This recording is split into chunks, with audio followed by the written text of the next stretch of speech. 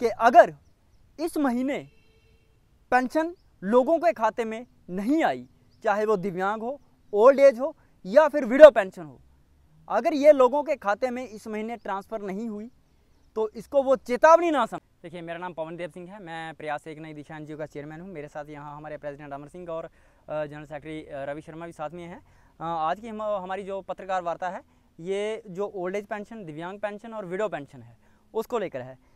देखिए, पिछले चार महीने पहले गवर्नमेंट ने एक ऑर्डर जारी कर दिया था, जिसमें यह कहा गया था कि आप सभी के डॉक्यूमेंट्स जो हैं वो दोबारा लिए जाएँगे, चाहे वो ओल्ड एज पेंशन हो, चाहे वो दिव्यांगजनों की पेंशन हो, चाहे वो विडो की पेंशन हो।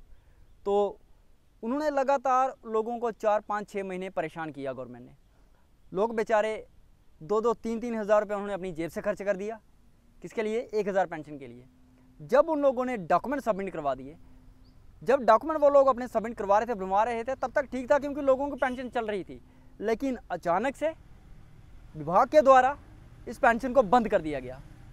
अभी पिछले चार दिनों, चार महीनों से ये पेंशन बंद है। हमने पिछले महीने से भी विभाग से यही पूछा था कि भाई पेंशन कब आई थी। उन्होंने हमें बोला था नेक्स्ट मंथ आ जाएगी। हमने आज फिर उनसे कंसर्न किया कि भाई इस महीने तो पेंशन आई नहीं है। तो विभाग का कहना था कि देखिए, हो सकता है एंडिंग में आ जाए या अगले महीने आए। मतलब श्योर वो भी नहीं है। तो मैं यहाँ आपके चैनल के माध्यम से एलजी प्रशासन से ये पूछना चाहूँगा कि क्या आपने लोगों को परेशान करने का ठेका ले रखा है? दिव्यांग हो, चाहे ओल्ड एज हो या विडो हो, सभी तो खाते पीते घरों के नहीं है ना? इसमें ज़्यादातर लोग गरीब हैं बिलो पॉवर्टी लाइन के हैं। जिनका एकमात्र सहारा, ये दिव्यांग पेंशन है, ये ओल्ड ओल्ड एज पेंशन है, ये विडो पेंशन है। और वो भी आपने बंद कर रखी है। आखिर कब आपको लोगों की मजबूरी का एहसास होगा? और कब आप इन गरीब लोगों की मजबूरी को समझेंगे? मैं आपके चैनल के माध्यम से एलजी महोदय को यह चेतावनी देना चाहता हूँ कि अगर इस महीने पेंशन लोगों के खाते में नहीं आई, चाहे वो दिव्यांग हो ओल्ड एज हो, या फिर विडो पेंशन हो। अगर ये लोगों के खाते में इस महीने ट्रांसफ़र नहीं हुई तो इसको वो चेतावनी ना समझें।